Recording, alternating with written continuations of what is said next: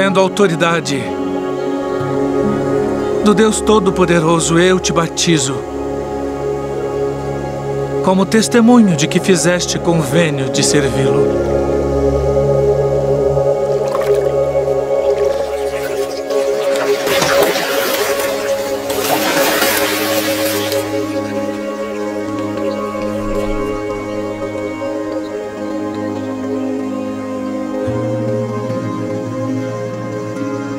Este é o meu filho amado, em quem me comprazo.